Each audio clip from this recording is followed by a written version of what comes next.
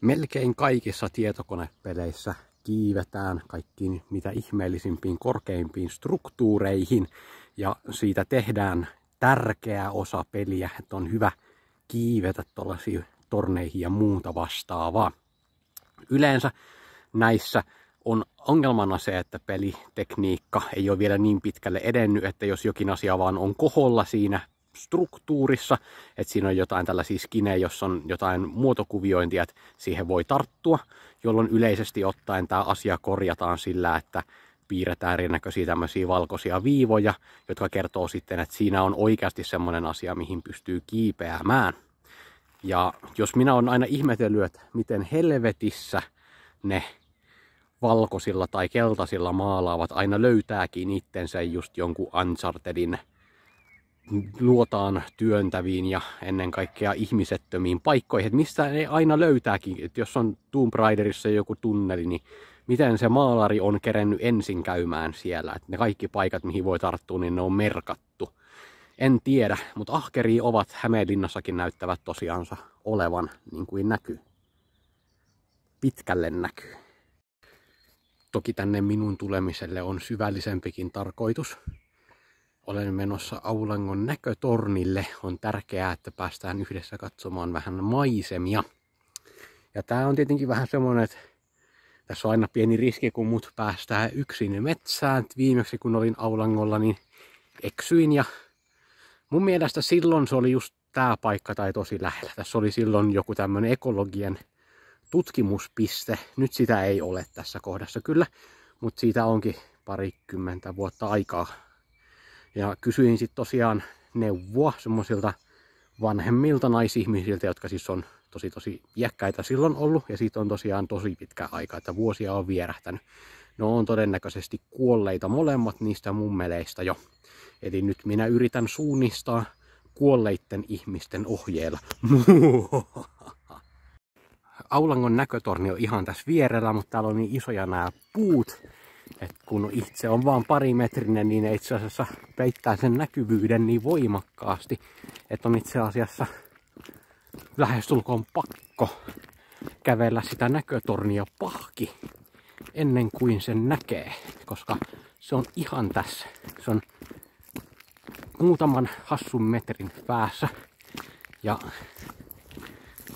tää on tätä perspektiiviongelmaa. Eli kun on niin pieni matonen maa, niin kun itsen ja sen tornin väliin tulee jotain tällaista, joka on lyhyempi kuin torni, mutta pidempi kuin sinä, niin se voi piittää sen näkyvyydestä aivan kokonaan.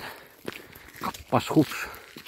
Tää onkin nyt ihan täysin tämmöisten rakennustelineiden varassa mikä minun silmääni näyttää siltä, että tää on joku tämmönen Assassin's Creed tehtävä. Sitä on ollut ilmoilla. Niin uskomattomalta kun saattaa vaikuttaakin, niin nämä minun typerät kiipeilijutut yrittivät palvella jonkinlaista funktiota, jota yritin tukea erinäköisellä kiipeilyjutulla. Ihan sen takia, että jos me mietitään esimerkiksi torniin kiipeämisen fenomenologiaa, niin se, että sä meet tuommoisen suljettuun tilaan, joka on tämmöinen erillinen ja sitten sinä nouset ja sitten sinä näet asiat erilaisesta perspektiivistä. Niin se on todella todella huikean tärkeää ja tässä mielessä on hyvin mielenkiintoista muistaa, että Friedrich Nietzsche puhui todella paljon vuorikiipeilystä ja tämä on semmoinen hyvä paikka, jossa on mukavaa jutella vuorikiipeilystä, koska tämä tavallaan demonstroi aika konkreettisesti sitä, miten helposti tuomopoika pääsisi kivasti putoamaan kansallismaisemaan. Nämä on nämä Aulangon maisemat aivan huikeita. Ei voi niinku parempaa sanoa. Ja kun me ruvetaan puhumaan vuorikiipeilystä, niin silloin kiivetään korkealle, nähdään vaivaa, nähdään uusenlaisia perspektiivejä. Semmoisia, jota ei maan tasolla kökkiessä saa. Et tavallaan on semmoinen arkitila, sitten on tämmöinen arjesta poikkeava tila. Ja vuorikiipeily on aina riski. Vuorikiipeily on joka kerran riski. Siinä sinä koettelet voimiasi ja rajojasi. Sinä et tee vain riskejä, koska sitten sinä kuolet. Sinä teet harkittuja riskejä. Ja se on väkevää. Eli tavallaan ideana on just se, mikä on sosiaalisissa suhteissa ja muussakin vaikeaa. Eli moni on ystävällinen naiviuttaan, että he ajattelee, että ihmiset on hyviä. Sitten jotkut kyynistyy, kun he kohtaavatkin epämiellyttävää juttua, mutta sitten jossain vaiheessa jotkut ihmiset kykenevät kasvamaan tästä kaikesta yli niin, että he ovat humaaneja sen takia, että se on sen riskin arvoista ja sen jälkeen on rohkeita ja tekevät hallittuja riskejä. Itse en luonnollisesti ole tällaisen yli-ihmisyyteen yltänyt, enkä väitäkään sellaista tekeväni, mutta silti olen minäkin valmis nojaamaan suhteellisen vakaaseen pudotukseen, riskeeraamaan juuri tuon verran, mutta en yhtään enempää. Tänne on kiva myöskin kiivetä, sinne voisi kiivetä tuosta toista reittiä, jos se ei olisi suljettu. Nyt se on suljettu, ei päästy kulkemaan. Näin estettiin minunkin tie yli ihmisyyteen jollain rakennustyömaalla. Voi voi, oi oi. Toki tässä, vähän niin kuin kaikessa muussakin Nietzsche-tulkinnassa ja reagoinnissa on sellainen haaste, että jos meillä on vuorikiipeily ja se on metafora slash argumentti, niin metaforat on aina vähän eri asia kuin oikeat asiat. Mutta siitä huolimatta näkisin, että on tilaa tämmöiselle sanotaan ympäristön fenomenologialle, missä se, että sinä konkreettisesti olet jossain vuoren huipulla ja näet paljon maisemia ja sitten sinä hengität siellä sitä ohuempaa, kuulaampaa, kirkkaampaa, kylmempää ja väkevämpää ilmaa, niin se vaikuttaa sinun jollain tavalla. Ja tässä mielessä on oleellista miettiä esimerkiksi sitä, että miten paljon meidän elinympäristö ja se mitä me nähdään, niin miten se vaikuttaa meidän mielenterveyteen ja elämään muutenkin. Että jotenkin moni ihminen lähtee metsään rentoutumaan ja hakemaan sieltä tällaisia esteettisiä elämyksiä. Harvempi on niin yli-ihminen, että lähtee hakemaan itselleen kasvattavaa kokemusta jostain sanotaan Koolevaaran helvettiviidakosta, missä on kerrostaloja ja betonia.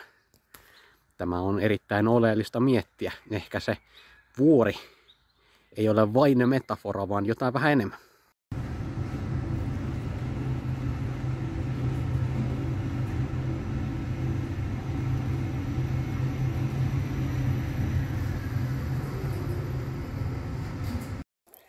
Ja jotenkin mulla on semmonen ajatus, että vaikka tämmönen tilan filosofia kuulostaa tämmöiseltä high level bullshitteryltä jopa niin filosofiasta kiinnostuneille ihmisille, niin siitä huolimatta aika moni jollain tavalla varmaan ymmärtää sen, että mehän ollaan ensinnäkin kehitetty reagoimaan ympäristön ja elämään siinä, jolloin on ihan luonnollista, että meillä on tapa reagoida niihin ärsykkeisiin, mitä me saadaan ympäristöstä. Eli me ollaan evolutionistisesti syntyneitä toimijoita sen sijaan, että me oltaisiin jotain tämmöisiä Jumalan luomia ajatuskoneistoja, jotka irtautuvat ympäristöstä ja sitten jossain objektiivisessa neutraaliudessa tarkastelevat maailmaa.